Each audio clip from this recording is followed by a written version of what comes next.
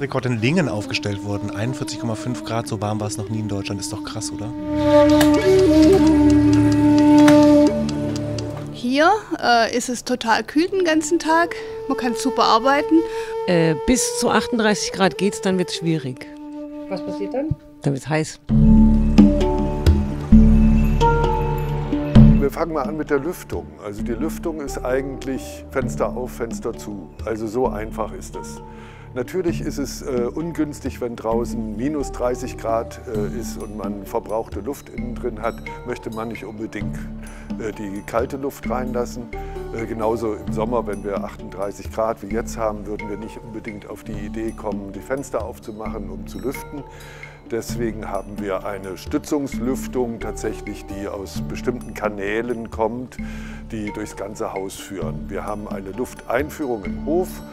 Äh, dann äh, geht äh, die heiße Luft durch einen Wärmetauscher, der mit gekühltem Wasser betrieben wird. Wir haben eigentlich nie ein Heizproblem, weil die Gebäude sehr dicht sind durch Dreifachverglasung und Dämmung.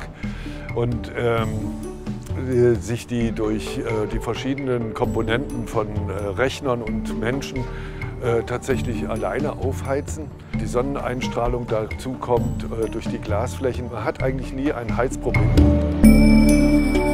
Moderne Bürogebäude haben im Sommer das Problem, äh, die Wärme aus dem Gebäude herauszuhalten oder auch herauszubringen. Dazu dient der Sonnenschutz, der automatisch durch die Wetterstation in Gang gesetzt wird. Das sieht man hier an diesem doppelgeschossigen Raum auf dem Dach. Bei Sonneneinstrahlung gehen die automatisch runter. Entscheidend ist, dass das Gebäude selber äh, einen äh, starken Betonkörper hat, äh, viele Betonelemente, die Kälte speichern können und die über den Tag abgeben. Die dritte Komponente, die äh, für ein ähm, angenehmes Raumklima sorgt, sind ähm, Wärmetauscher innen in den Büroflächen an den Fassaden. Wir haben eine adiabatische Kühlung anstatt einer konventionellen Kühlung, die mit Klimageräten arbeiten würde. So, hier haben wir einen von diesen Wärmetauschern, äh, der im Winter als Heizung, im Sommer als Kühlung funktioniert. Das heißt, es sind Röhrchen und äh, große Oberflächen, die äh, Temperatur an die Luft abgeben. Da haben wir etwa 300 solcher Körper an den Fassaden in den gesamten, rund um die Büroflächen im gesamten Haus stehen. Hier kreist das Kühlwasser. Das sind 28.500 Liter Wasser, die stündlich äh, einmal durchs Haus äh, kreisen.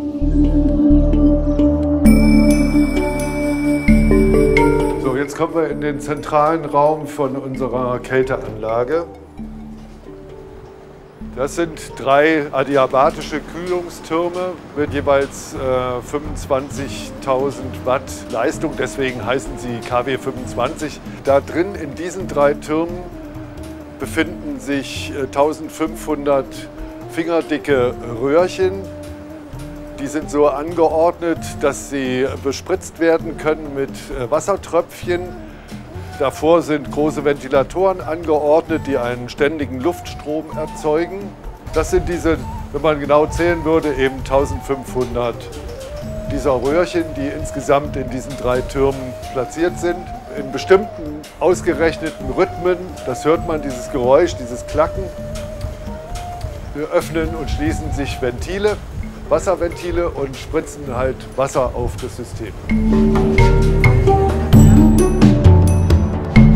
Auf diesem Dach oben drauf, auf diesem gesamten Dachfläche sind 86 Solarmodule verlegt, mit denen wir knapp 30.000 Kilowattstunden Strom erzeugen, den wir auch zu 100 Prozent selber verbrauchen.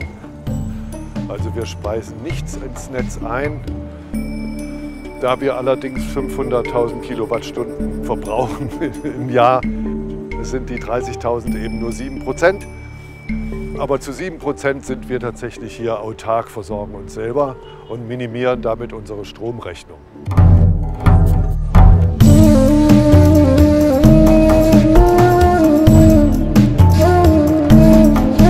Im alten Haus war es echt richtig heiß, so heiß wie in Lingen ungefähr. Also im alten Haus saßen wir unterm Dach sehr lange und das war ätzend. Also ich habe das ja nur einen Sommer mitgemacht. Und da war es aber so unerträglich, dass selbst wenn man die Fenster aufgemacht hat, äh, es nicht mehr funktioniert hat. Wenn draußen so 28 Grad sind, sind da drin glaube ich so 19, dann ziehen sich so ein paar Damen so Strickjäckchen an. Ist angenehm. Ist viel schöner als vorher.